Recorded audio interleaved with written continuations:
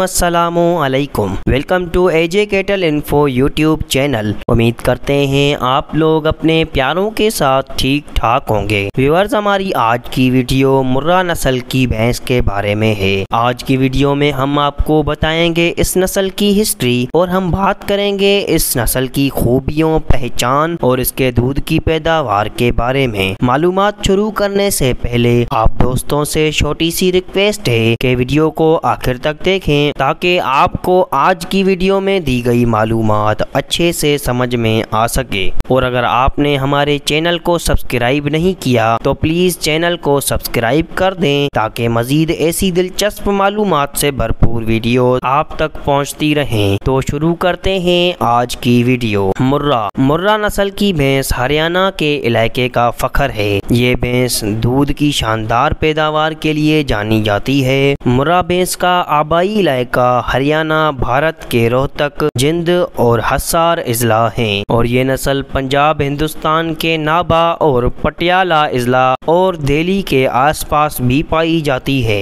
मुर्रा नस्ल को दिल्ली कुंडी और काली के नाम से भी जाना जाता है। इसने बहुत से तरक्की पजीर ममालिक जैसे Bulgaria, Philippine, Malaysia, Vietnam, Brazil और श्रीलंका में भैंसों के हवाले से एक अहम मकाम हासिल किया है। मुर्रा भैंस न सिर्फ़ हिंदुस्तान में बल्कि पूरी दुनिया में दूध पैदा करने वाली अच्छी भैंस के तौर पर जानी जाती है। इस नस्ल के बैल बड़े पैमाने पर भैंसों के स्टॉक को अपग्रेड करने यानी बेहतर बनाने के लिए इस्तेमाल किए जाते हैं। हुकूमत हरियाणा भारत ने मुर्रा भैंसों की इम्पोर्ट को बढ़ाने के लिए किसानों के लिए एक तरगीबी नकद इनाम का आगाज़ किया था। अब बात करते हैं इस भैंस की पहचान के बारे में। मुर्रा की बाडी भारी और पिक्चर शक्ल की होती है। इसका सर निस्बतन छोटा होता है। चेहरा निस्बतन लंबा और गर्दन भी निस्बतन लंबी होती है। रंगत की बात करें तो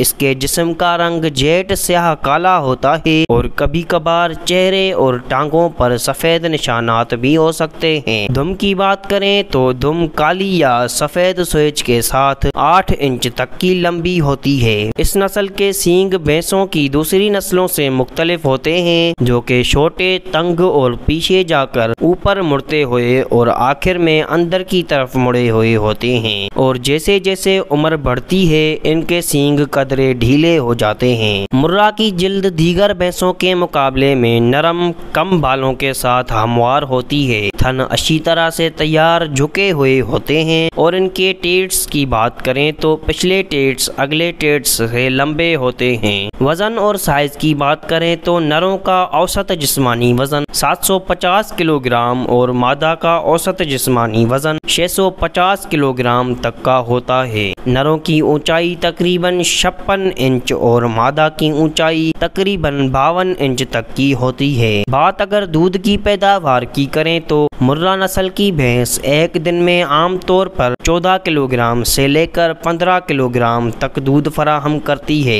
लेकिन खास किस्म की मुर्रा भैंस रोज़ाना 18 किलोग्राम से ज़्यादा दूध फराहम करती है। हुकूमत हिंद की तरफ़ से सजाए गए ऑल इंडिया दूध की पैदावार के मुकाबले में एक चैंपियन मुर्रा भैंस से एक दिन में साढ़े इकतीस किलोग्राम तक दूध की आला पैदावार रिकॉर्ड की गई है। इसके दूध में फैट लेवल यानी चिकनाई का तनासब सात से आठ फ़ीसद तक का होता है। मुर्रा भैंस का दूध देने का दौरानिया 230 दिनों से लेकर 310 दिनों तक का होता है। मुर्रा भैंस तीन साल की उम्र में पहला बच्चा देने के काबिल हो जाती है। और मुर्रा भैंसों में हमल की मुद्दत 310 दिन तक की होती है। व्यूअर्स तो ये थी मुर्रा नस्ल के बारे में दिलचस्प मालूम अगर आपको पसंद आई हो तो प्लीज़ वीडियो को लाइक करके हमारे चैनल को ज़रूर सब्सक्राइब कर दें। आपका सपोर्ट करना हमारा हौसला बढ़ाता है। इसलिए हमें सपोर्ट करते रहें। हम आपको नई नई दिलचस्प नस्लों की मालूम फराहम करते रहेंगे। आज के लिए इतना ही। मिलते हैं ऐसी ही एक और नई मालूमती वीडियो के साथ तब तक के लिए अपना और अपने प्यारों का बहुत सारा ख्याल रखें। खुश रहें, आबाद रहें। अल्लाह हाफिज़।